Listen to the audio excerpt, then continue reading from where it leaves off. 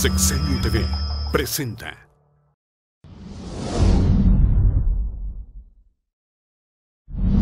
Cambio de tema en Hechos para despertar. Y hoy además con un amigo de esta casa de hace muchos años, Gerardo Islas Maldonado. Gerardo eh, tiene dos roles, tiene dos actividades. Es presidente y CEO de Grupo Sexenio Comunicación, que desarrolla en su edición de impresa, el periódico Sexenio, en todas las modalidades virtuales esta edición de Sexenio, y además dentro de su foro de político es presidente del Partido Nueva Alianza. De esa parte, ahora no platicaremos, nos vamos a concentrar en esto, en Sexenio. Platicaremos acerca de esta opción de comunicación, esta opción de información aquí en Puebla. Bienvenido. Carlos, un saludarte. Gracias por el espacio. Sexenio, ¿cuántos años ya tiene el periódico? Platícame un poco acerca de, de- de la historia. Y es prácticamente, vaya, pues tú traes en la sangre este, tinta de familia, tiene la tradición periodística. Nací prácticamente en la imprenta del periódico que fundó mi abuelo hace eh, casi 52 años, se cumplen el, el 5 de mayo, don Ángel Castillos, Círculo Poblano, y bueno, hoy a 52 años ha crecido, el grupo son 22 portales en el país, son cuatro revistas, un- una estación de radio, periódico impreso en Puebla, a Aguascalientes, Querétaro, y bueno, hoy necesitaba eh, Sexenio entrar precisamente al quirófano. Esta es la última edición del año, donde estamos presentando la campaña Estamos Operando. Entra Sexenio literal al quirófano para que un grupo de cirujanos plásticos expertos en el tema le haga una renovación total para cumplir los compromisos con nuestros lectores. La responsabilidad que tenemos con ellos de ser un medio renovado, fresco, a la altura de esos nuevos tiempos.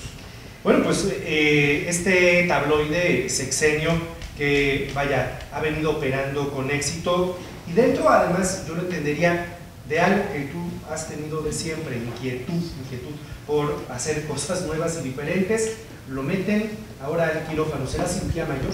Será una cirugía mayor, una cirugía reconstructiva. No entra al hospital porque se esté muriendo ni porque tenga una enfermedad terminal, pero simplemente tenemos que hacerlo. Hoy la noticia es mucho más dinámica, mucho más fresca, es mucho más ilustrativa, es eh, información de 140 caracteres, eh, como en las redes sociales, incluyendo Twitter. Hoy somos uno de los medios de comunicación en Puebla verificados.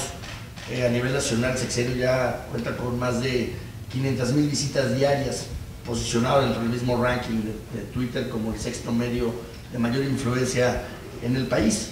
Y bueno, esto pues, nos hace siempre estar renovándonos, eh, ofrecerle, repito, a los lectores una nueva opción.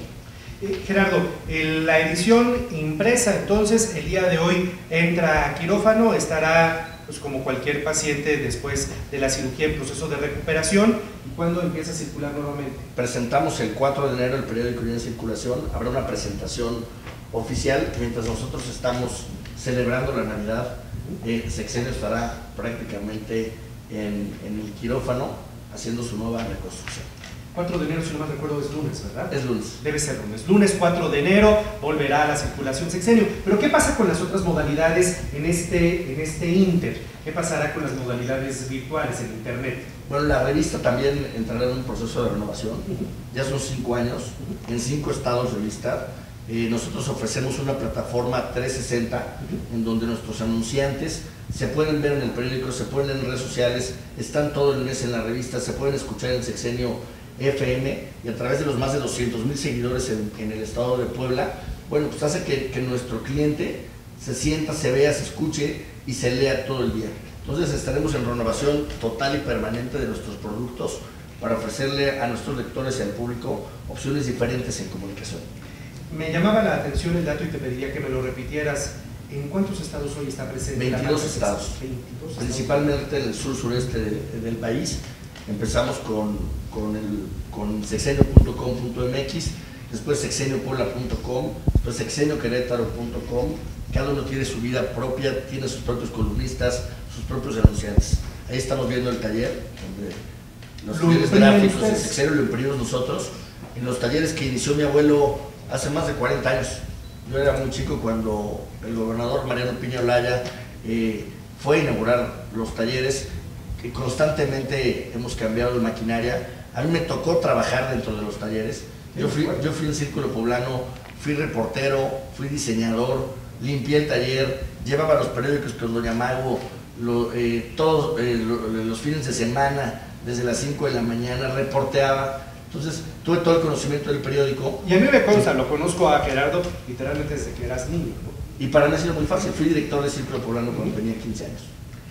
¿Quién es el perfil? ¿Hacia qué perfil está enfocado Sexenio? ¿Quién es el lector de Sexenio en sus distintas modalidades? El perfil son, son hombres y mujeres que toman decisiones, jóvenes con aspiraciones, jóvenes que están buscando también el salir de la universidad y encontrar una verdadera opción. Es un medio abierto a la sociedad, es un medio que en el 2016 queremos que sea más cercano a la ciudadanía, que sea mucho más cercano en la gestión, que pueda a través de nuestras plataformas también denunciar, que pueda en, el día a día reportar un bache, que pueda reportar un robo, que pueda reportar eh, la falta de mantenimiento en escuelas, la falta de, eh, servicios de una ambulancia de tránsito. Ese es el perfil de elector hacia el que vamos, al que queremos seguir conquistando y por supuesto darles las gracias por acompañarnos en todos estos años. Medio socialmente responsable, ¿por qué? Medio socialmente responsable, eh, mi abuelo creó y después mi papá le dio forma, eh, Gerardo Islas Hernández, a la Fundación Ángel Islas Quiroz. Y a lo largo de 20 años pues, hemos trabajado muy de cerca con los grupos vulnerables, hemos estado permanentemente en campañas cuando sucede algún, eh, algún temblor en el país o cuando sucede lo de Acapulco, que hicimos guerreros poblanos que nos funcionó muy bien, cuando fue la explosión en San Martín de Xmelucan, eh, trabajamos cerca de la gente. Entonces, también eh, usamos nuestras plataformas para acercarle a, a los ciudadanos becas, servicios, con lo que podemos mejorar su calidad de vida. Bueno, pues es sexenio, hoy entra en un periodo de receso, entra en una cirugía, no por un tema de enfermedad, sino por un tema de empezar el año de acuerdo con los tiempos, porque hoy además los tiempos eh, obligan a los medios a un tema... Muy dinámico, ser dinámicos, ser rápidos, ser efectivos, lo que publicamos hoy en la mañana, a lo mejor en una hora dejó de ser noticia. Arroba Sexenio en Twitter, en eh, web sexeniopuebla.com. Y bueno, a partir de web usted puede direccionarse hacia el medio auditivo, en fin, hacia todas estas opciones que ofrece Sexenio el día de hoy. ¿Algo que quieras agregar, estimado Nada más, quiero desearle a, todo el auditorio un feliz año, que el 2016 se llene de prosperidad, de mucha salud para todos los que trabajan en TV Azteca, pero también gracias. para nuestros lectores y para los poblanos que nos ven a través de este canal. Y ya estaremos presentando justo en enero, el 4 de enero, el nuevo rostro que tiene que ofrecer Sexen. Muchas gracias, Gerardo Islas. Un saludarte. Muchas gracias. Buen día. Las 7 de la mañana con 25 minutos.